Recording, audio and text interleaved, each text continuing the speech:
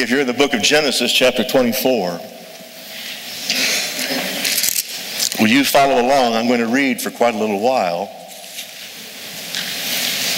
We just sang, Unto thee, O Lord, do we lift up our souls. Show us your ways and teach us your paths. We're opening up wells. Let's look at the well we're going to look at tonight, or this morning. Chapter 24, verse 1. And Abraham was old and well stricken in age, and the Lord blessed Abraham in all things. And Abraham said unto his eldest servant of his house. Notice the name Eliezer is not given to us here. That is his name, but it's been left out in this account. And he ruled over all that Abraham had. Look at what Abraham asks him to do down in verse 4. But thou shalt go unto my country and to my kindred and take a wife unto my son Isaac. Let's skip down now to verse 10. The servant, again, his name is left out, took 10 camel, 10 camels of the camels of his master, and he departed.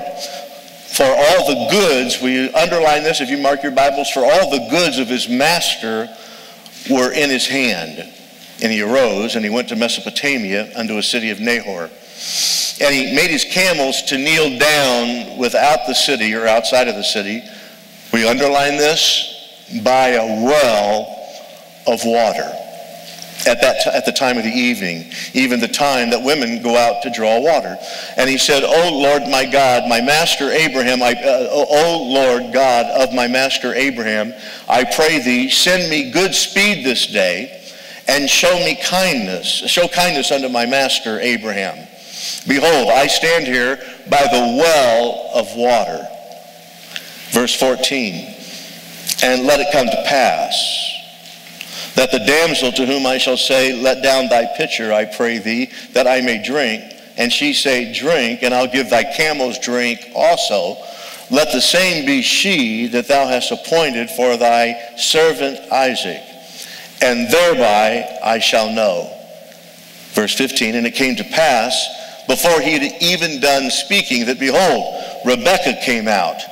And most all of us know the story from there on that when Rebekah came out, she indeed not only gave water to this servant to drink, but watered all ten of his camels. Let's get down to verse 26. After this had taken place, it says, And the man bowed down his head. Notice how not one time has the servant's name been given. And he worshiped the Lord. And he said, Blessed be the God of my master Abraham, who hath not uh, left destitute my master of his mercy and his truth. I, again, if you mark your Bibles, would you underline this? I, being in the way. Now, that doesn't mean he was in the way. I mean, we use that expression for people that are interfering. We say, get out of the way. That isn't what he's referring to here in the King James Version. And man, he was in the way, and we'll get to that in a minute. He said, The Lord led me to the house of my master's brethren. Isaiah chapter 12 and verse 3 says, There are wells of salvation that with joy we can open up in our lives. Last week we looked together at the well of the Holy Spirit. In John chapter 16, verses 13 and 14, Jesus was telling the disciples that it was necessary that he was going to leave after his resurrection concerning his ascension to go be back with the Father.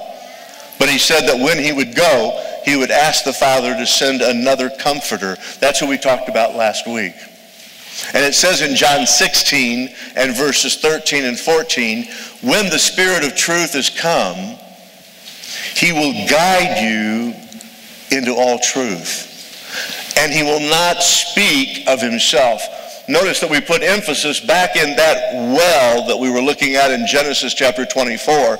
That servant, Eliezer, who means God is my helper, is a type of the Holy Ghost. He's representative of the Holy Ghost, the one we shared last week.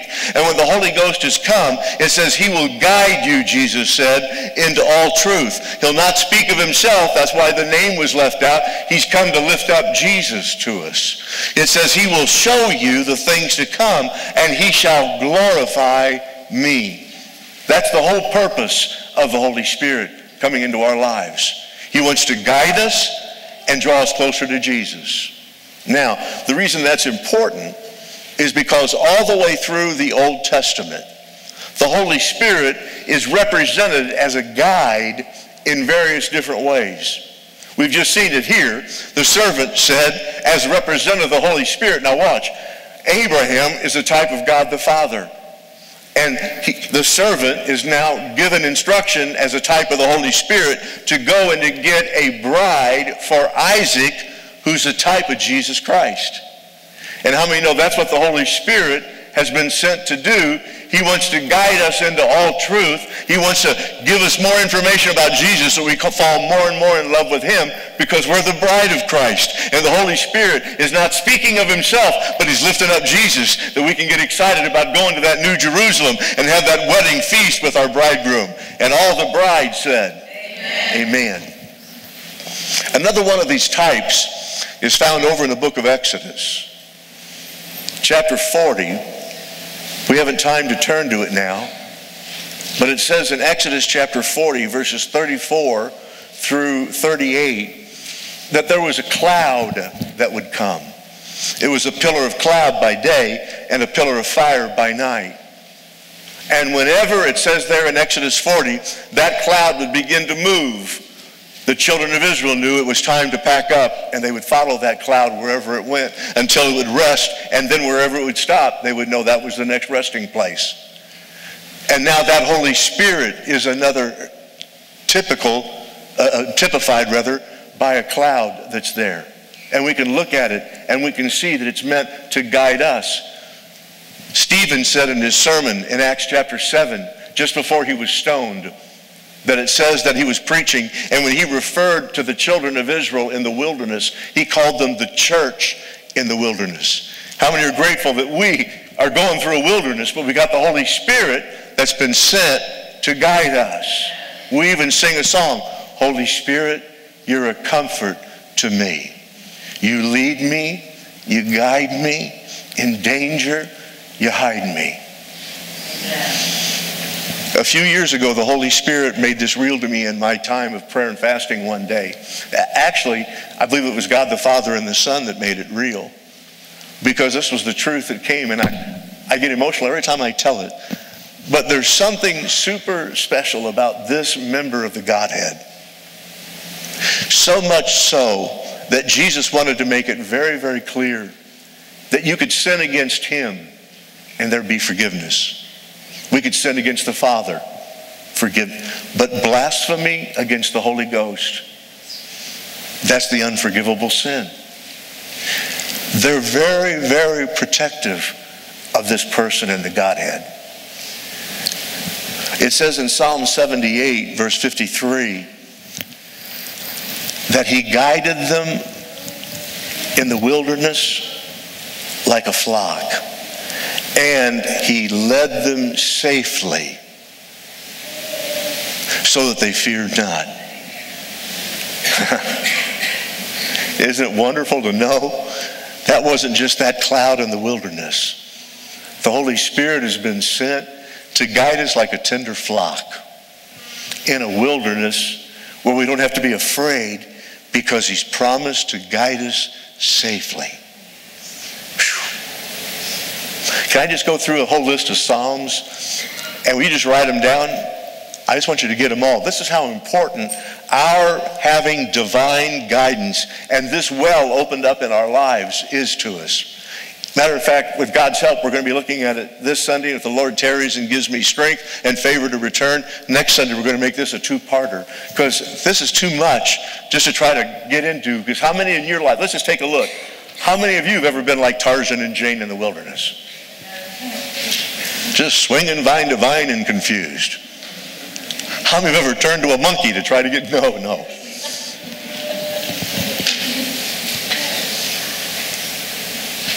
Psalm 5 and verse 8, listen to what David said. Lead me, O Lord, in thy righteousness because of my enemies. Make thy way straight before my face. Listen to Psalm 25, 4 and 5. You sang it.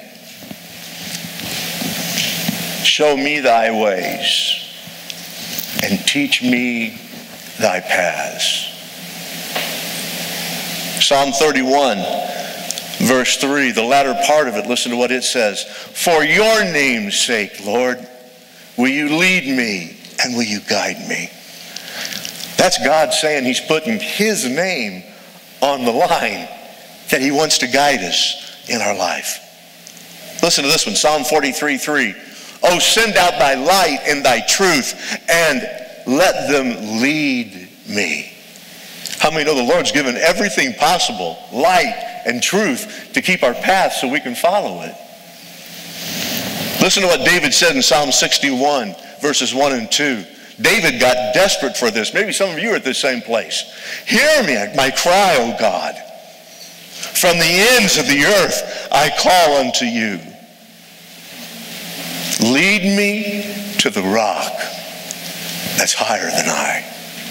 For whom have I in heaven but thee, and whom I of earth that I can turn to? Whew. That's a desperate need for guidance.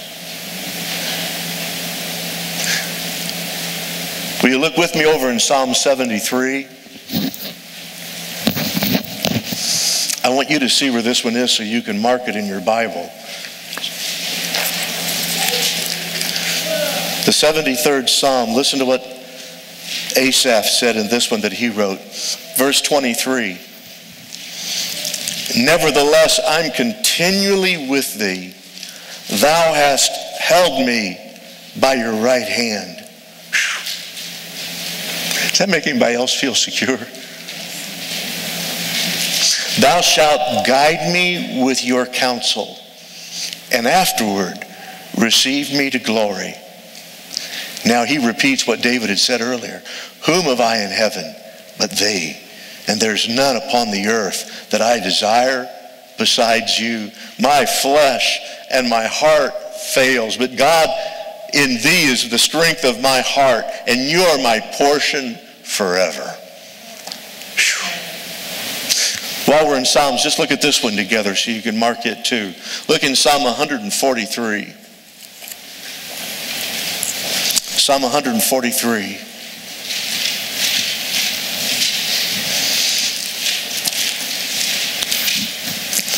This is the one I underlined this week. And I want you to know God did it. There was a situation going on that I was praying about. And on my time of praying and fasting on Wednesday, this was the psalm that the Lord gave me, and I included it in my notes because I was getting desperate for God to do something in a situation. Have you ever been here where you've said this to God? Look in verse 7. Hear me speedily. oh Lord, my spirit is failing. Hide not thy face from me, lest I be like them that go down into the pit. Cause me to hear thy loving kindness in the morning, for in thee do I trust. Cause me, underline this, cause me to know the way wherein I should walk.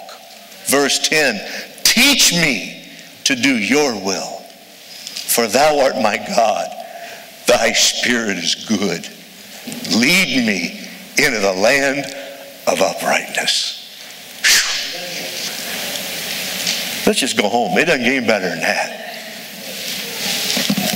Why are we giving all of those scriptures to us?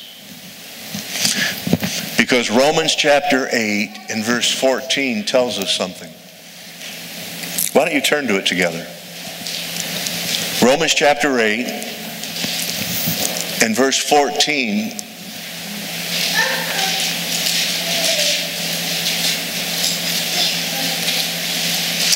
says, For as many as are led by the Spirit of God, how many have in your Bible, they're the sons of God? Okay. Sisters, don't get upset about that. He leads you too. Because that Greek word, let's just camp here for a minute. It's important we understand it. Because if you'll skip down, look at verse 16. For the Spirit Himself bears witness with our spirit that we're the children of God. Do you see the difference that's there? A little earlier, that's the Greek word H U I O S, huios.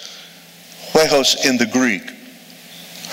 But in Romans chapter 8, verse 16, where it says, the Spirit bears witness with our, our spirit, that's when we get born again, that we're the children of God.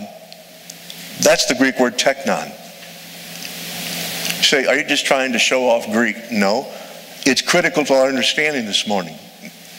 Because you see, when you get saved, the moment that you ask Jesus to be your personal Savior, the Holy Spirit came because 1 Corinthians 12 and verse 3, that's not in there, guys. It says this it says it's impossible to even call Jesus Lord without the Holy Spirit. So the moment that you believed in your heart and you confessed with your mouth, the Holy Spirit was there with you and you became a child of God. And that's the Greek word teknon. It means you were born of that, okay? That's why Nicodemus, when he came to Jesus in the middle of the night, remember Jesus said to him, when he asked, How am I going to see the kingdom? He said, You must be born again. Now that's the Greek word teknon, when a child is born. Boom, it's there. We used to try to torment Andrew to tell him that somebody just left him at the front door. We just wanted to torment him, and he's turned out relatively well after all that scarring emotionally.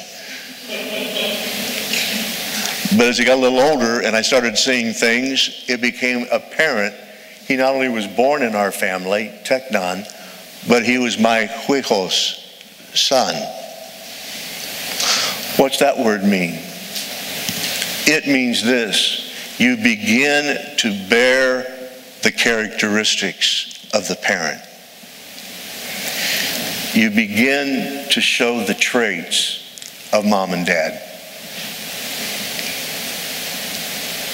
Let's all just stretch our hands out towards Andrew right now.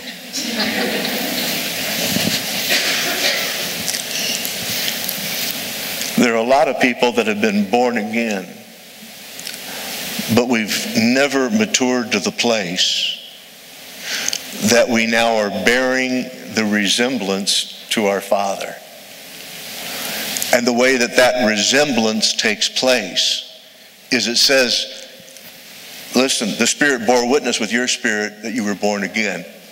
You're his child. But as many as are led by the Spirit, they're the ones that are bearing the resemblance of their Father. You see, maturity as a Christian is never measured by longevity. Did you hear that? It ain't how long you've been a Christian that impresses the Lord. Well, I've known him for 50 years. The devil's known him since eternity past. So longevity doesn't impress the Lord at all. What measures the maturity in a saint is their obedience. That's why Peter closed out his letter in 2 Timothy, 2 Peter, he didn't write Timothy at all. 2 Peter 3.15, he said he was praying for the people there in the church at Babylon, and he said, I'm praying that you will grow in grace and in the knowledge of our Lord Jesus Christ. What's grace? Grace is God's power working in us both to will and to do his good pleasure. That's Philippians chapter 2, verse 10. God's working in us to will and to do his good pleasure. That's what grace is all about. Now, watch. And when we respond to that act of God's grace working in us and we obey it, now we grow in our knowledge of him. I pray that we will grow in grace and in the knowledge of Jesus Christ. That's why there are some people, they've only known the Lord for a short time, and man, they know depths of God that people have been hanging around, they don't got it all. You want to know why? Because they may only know three things and they've obeyed all three. That means they're batting. What does that mean? I don't know baseball. Is that batting 500? Huh? That's batting a thousand. Huh? That's perfect. But somebody that's learned a, a hundred things and you're only doing three, you get the picture? That's why this issue about opening the well of divine guidance is so critically important to our joy. Now, we're going to give you, the Lord willing, several things, but we're going to go slowly through the first few. Then next week we'll pick up on the rest of them and hopefully he'll come back. But before we do, how many of you right now are struggling with some decision making in your own life? Okay. How many have known what it is in your life since you've been a believer to really make some? Trying to get some clean words here some dumb decisions. How many don't want to do those anymore? I have learned something about pain. It isn't always necessary. There's two ways that you can learn. You can learn by pain, and you can learn by accepting the truth and let it set you free. There's a third way. You can also watch somebody else do something stupid and go, Whoa. but I'm not going to get into that right now. Can I give you something else I just wish you'd chew on a little bit? If I was a car- if I was a cartoonist, there's a cartoon I've always wanted to draw, and that's a picture of Satan just sitting on a curb, just crying his eyes out. And, and, and someone walking up to him and saying, What's wrong? And him saying, Oh, the Christians just keep blaming everything on me. Because how many know that's what we do? Well, the de- no, sometimes it's just our own refusal to obey the guidance that the Holy Spirit's wanting to provide in our lives. Now, I only got one person for my witness. I want you to know if you're here and you're going, well, he's picking on me. He just designed this because of me. Jennifer knows I've had these notes since December. Okay? But there are some of you here I hope will get it. No, let's go into the notes right now. Will you write down the first word, and it'll all begin with the letter S.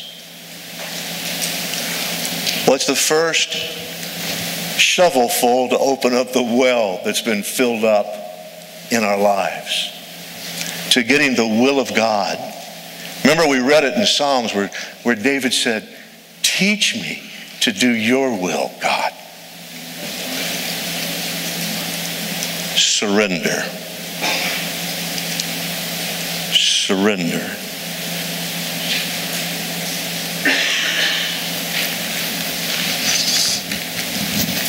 Look with me in Psalm, excuse me, Romans 12. Romans 12. Should just be a couple pages from where you were.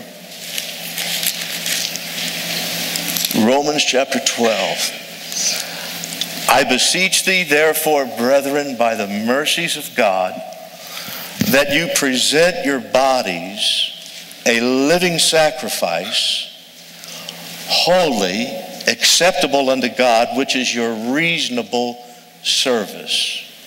And be not conformed to this world, but be transformed by the renewing of your mind, that ye may prove what is the good and acceptable and perfect will of God. How many know it doesn't get better than good acceptable, and perfect will of God. Let's look at some words and let's analyze them a little bit together, can we, this morning? We're talking about surrender. Do you see where we had you look? First of all, present your bodies a living sacrifice. I won't give you the word right now because I'm going to lay some heavy stuff on you in just a second. That word means this in the literal language when I looked it up, where it says, present your body it means place yourself under orders. Put yourself under the command of. I beseech thee, therefore, brothers and sisters, by the mercies of God, surrender to the command. I wonder if the reason we stopped singing these choruses was not because they were old choruses we want to learn new ones. Maybe we just didn't want to live them anymore. Choruses like this I'll go where you want me to go, dear Lord, or mountain or plain or sea. I'll say what you want me to say, dear Lord. I'll be what you want me to be. Surrender. Placing ourselves under the orders. I beseech thee, therefore, brethren, by the mercies of God, that you present your bodies a living sacrifice. Will you take a look at that next word, present your bodies? Because if we're going to learn the will of God and be taught to do His will, how many know we've shared it before? Our bodies have five gates. You have your eye gate. You have your ear gate. You have your tasting gate, the smelling gate, and touching gate. What we all of a sudden allow to enter through those gates can become a block to God's will being able to get in. If you've allowed things that you allowed your eyes to dwell on, they can become an interference with being able to see what God's path is for our life. That's why Christian men are battling with pornography. No wonder Job said, I've made a covenant with my eyes that I'll not look upon a maid. Why? He was searching out for what God's will was in the middle of what he was going through. And he knew he better be careful about what he was letting in as our, our eye gate. Can I say something to all of us? You want to get messed up for sure about hearing God's voice and being able to know his guidance in our life? It's what you're letting in your ear gate. Because there's some stuff that gets so clogged up in our ear, there isn't a big enough spiritual Q-tip to get it cleaned out. We got to go and get one of those hoses to clean out what some of the stuff is that we allow to clog up our hearing. Some of the things we're even taking into our body through our mouth gate. Some of us with the things that we've allowed ourselves over our lifetime to touch.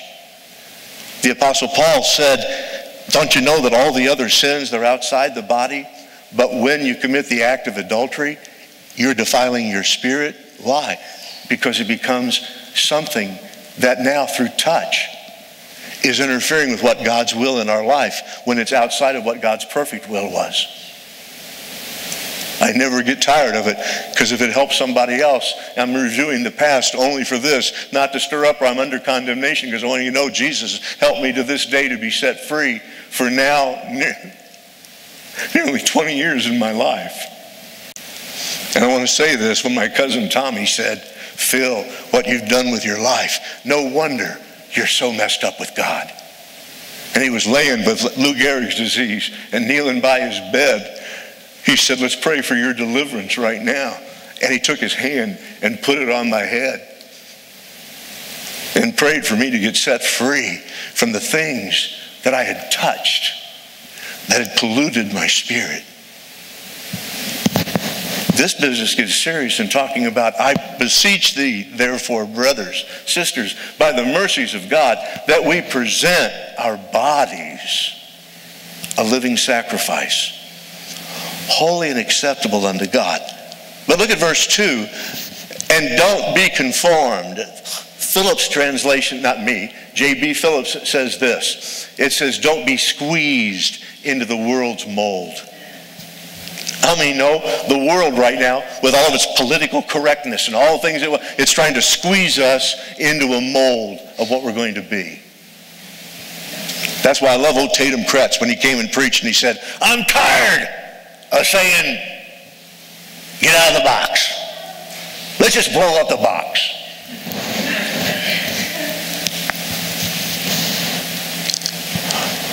But be transformed by the renewing of your mind.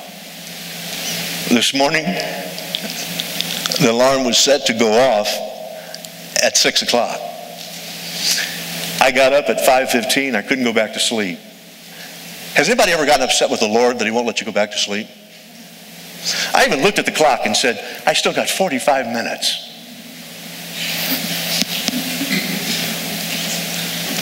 Is anybody else like Samuel, where the Lord kept going, Samuel? And you go running into the other room. Run in the other room.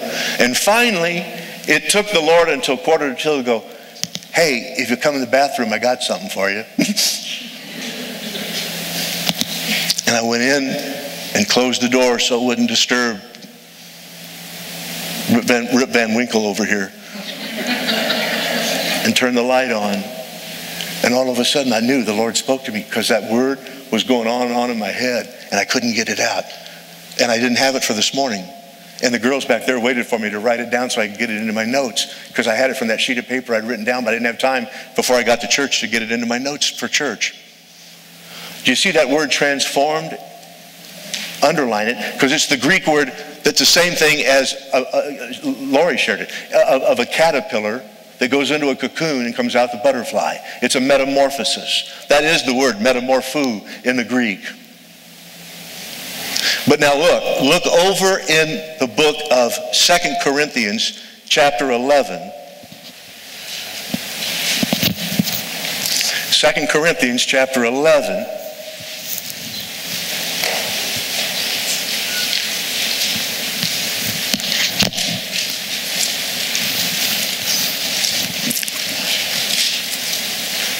And in 2 Corinthians chapter 11, Paul has said that he wants us to be careful because our minds could become corrupted, it says in verse 3, from the simplicity that's in Christ. And there could be another gospel, another spirit, another Jesus that could come along, and, and we go along with it. And then he explains something. Look at what he says. He says, because, verse 13, these false apostles can come into our lives and they transform themselves. Do you see that? And we shouldn't be surprised because it says in verse 14 that Satan himself is transformed into an angel of light. Do you see that? That word transformed is not the same word that was over in Romans where it says we can go through a metamorphosis because of the Holy Spirit in our life. We don't have to be conformed to the world. We can be transformed with a mind now that can receive things from the Spirit, and we can be led by the Spirit and reflect the very nature of the eternal God because He's leading us here, and our lives don't have to get all messed up and all screwed up and all confused. We can have life and have life more abundant because Jesus said, I'm sending the Holy Spirit to you, and He's going to guide you into all truth, and He'll glorify me. He won't be speaking of Himself. He wants to lead you into glory. Now watch. The word here in 2 Corinthians chapter 11 and verse 14 is a totally different word. And I'm going to find it for you.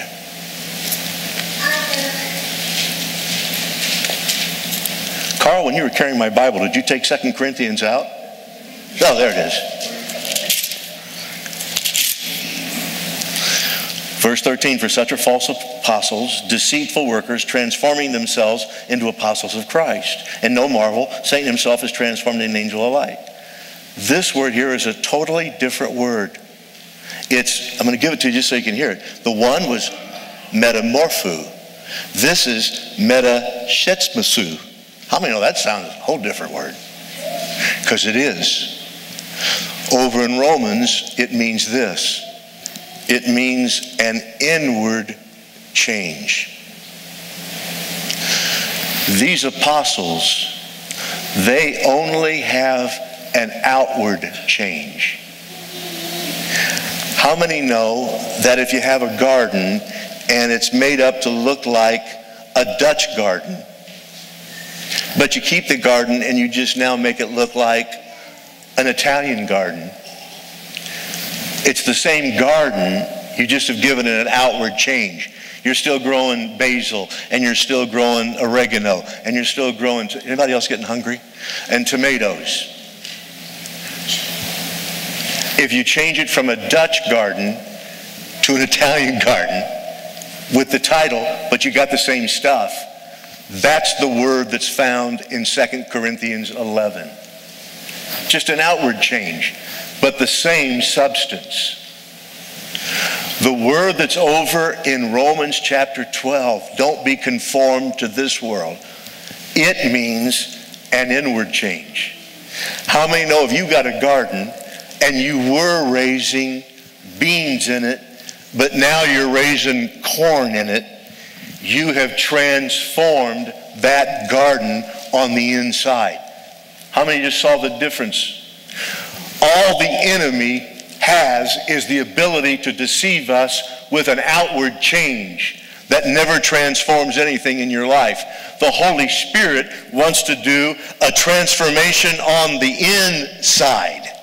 And when he does it on the inside, it works its way out. Now watch how both these words are used by the Apostle Paul. They're found over in 1 Corinthians chapter 15, where Apostle Paul wrote about the resurrection, and he says, For this mortal must put on immortality, and this natural is going to put on that which is supernatural. You see what's happening? We got an outward thing, and it's going to be changed when I get my new body.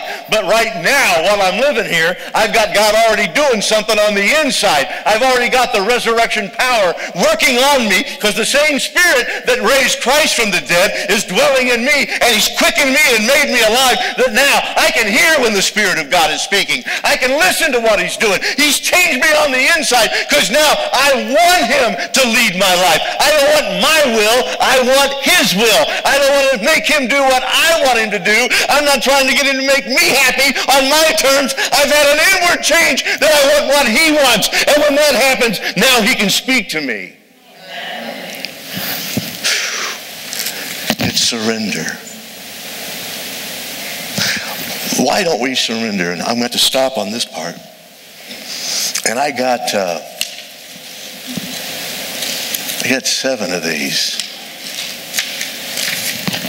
Come back next week, and the next week, and the next week. Will you look with me at the psalm that we sang, Psalm 25?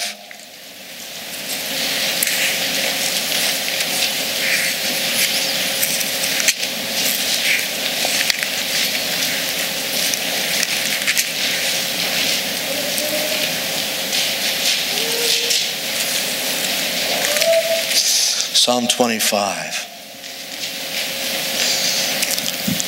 Look at the chorus we sang to begin. Unto thee, O Lord, do I lift up my soul.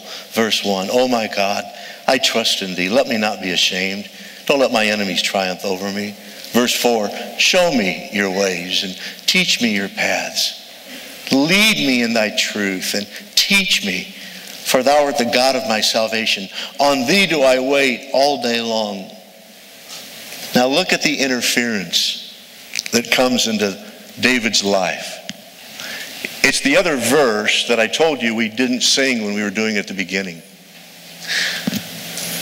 Remember not the sins of my youth. And the meek will he teach his way. I'm going to give you just one last truth, and I hope the Lord will really help you to hear it.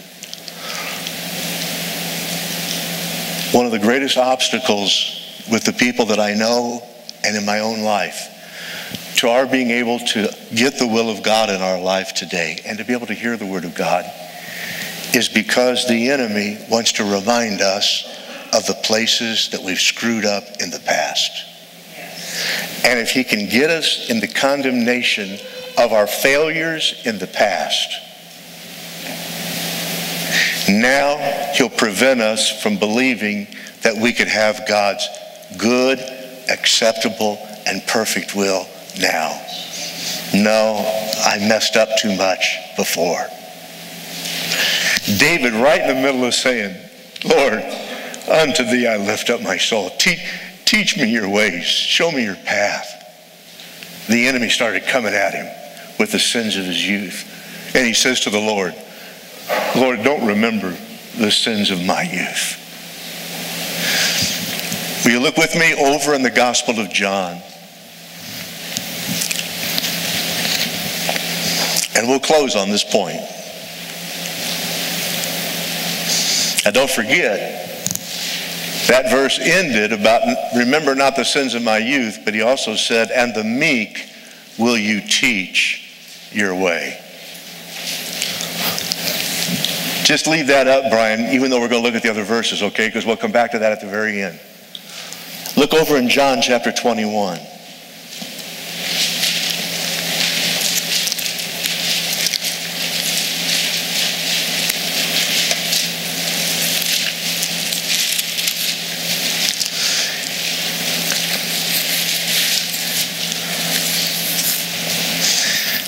Remember, Jesus was with Peter in Caesarea Philippi, and when he was with, with Peter, he said, uh, Hey guys, who do people think I am? They said, Well, some people think you're Elijah, and some think you're Jeremiah, and some think you're, you're one of the prophets. He said, Yeah, but who do you guys say I am?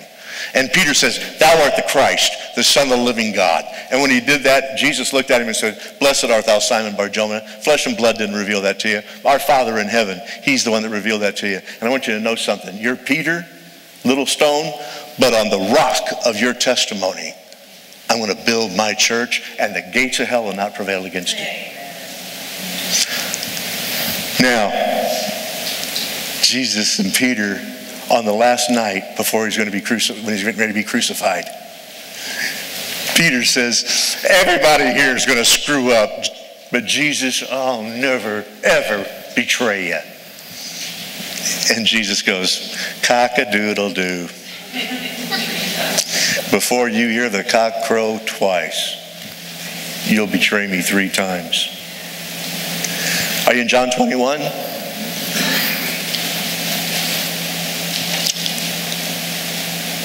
Look with me what it says. Jesus is on the shore after his resurrection. And while the guys were out fishing, he called to them, and we know Peter looked up and said, It's the Lord. And he jumped into the water and goes up to Jesus. Look in verse 8. And the other disciples came in a little ship, for they were not far from the land. They were dragging the net with the fishes. And as soon as they were come to the land, they saw a fire of coals there. Do you see that? We underline where it says they saw a fire of coals. And keep your finger here and look over in chapter 18 with me. Chapter 18.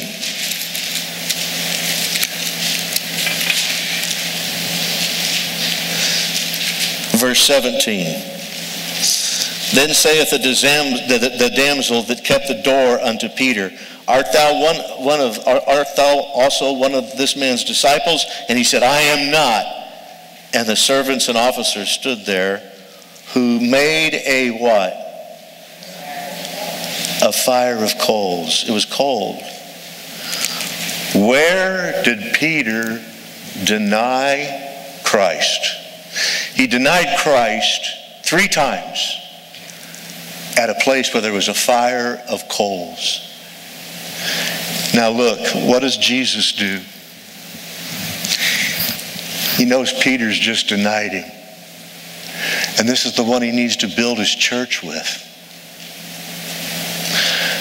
And if he's filled with condemnation and remembering the sins of his past, Peter's never going to be able to hear the Holy Spirit guide him into what he needed to do. And so now Jesus, in his love, comes to the seashore. He doesn't even want Peter to have the remembrance that when he would smell a coal fire, that's where I denied Jesus. Three times. Jesus takes the coals and builds a fire. And he says to Peter, Come here. Do you love me? Once. Do you love me? Twice. Do you love me? Three times. I'm going to wipe out that denial. Three. I'm going to give you three loves me. Loves me, overcomes loves me not. Loves me, overcomes loves me not. Loves me, overcomes loves me not. And then look what he does. Verse 11 Simon Peter went up and he drew the net full of, full of great fishes. How many fish? What's your Bible say in John 21, verse 11? How many fish? A hundred and how many? Now stay with me. This is Sunday morning. I want to let you go right after we're done with this, but I don't want you to miss it because if it doesn't bless you, you ain't got a blesser. No place else in the scripture does it ever say how many fish get caught. They caught so many fish over in Luke chapter 5, it broke the net. Never counted those. What did they do? They got the resurrected Jesus. Do you think when you got a resurrection in front of you, you're going to sit there, just one second. Okay, one, two, three, four. A hundred. Why'd the Holy Spirit put that in there for us? Because in the Hebrew, numbers are letters. Okay, all you mathematicians, let's do something together. And the Hebrew is read from right to left. Okay? So write this down. Elohim, E L O H I M. Ha, H A. Third, Ani, A N I. Elohim, Ha, Ani. Now we just read that left to right. Let me read it to you in Hebrew from right to left the way it would be. From right to left, it would be God, excuse me, I am God. Do you see it? Now watch. Let's take Elohim. That's the number. We write them down? 40, 10, 5, 30, and 1. Those are the Hebrew letters that spell Elohim that are those numbers. Ha. That's the number 1 and the number 5. Ani. That's the letter 10, the letter 50, and the letter 1. Are you all ready? Add up 40 plus 10 is how much? Plus 5 is how much? Plus 30 is how much? Plus 1 is plus 1 is plus 5 is lost some of our mathematicians. What are we up to? 92 plus 10 is how much? Plus how much? 50 is how much? Plus 1 is what? How many fish did they catch?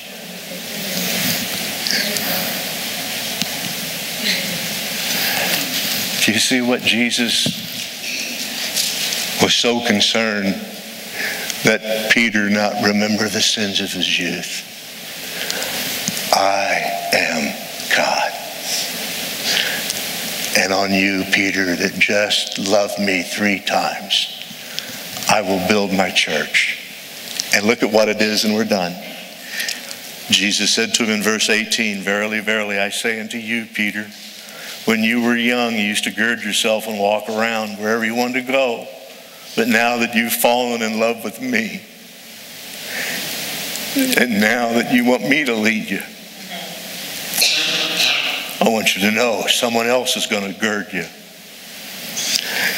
And they'll lead you where you don't even want to go.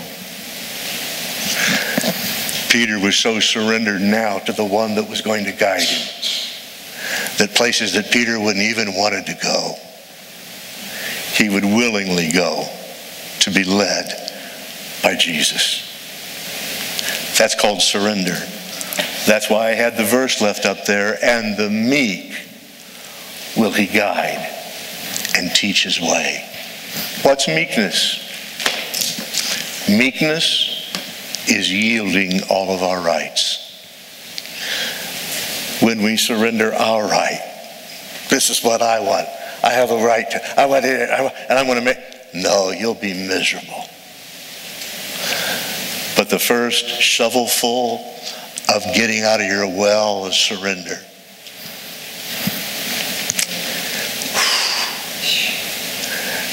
And if you got anybody whispering the words of remembering your sins of your youth, remember 153 fish.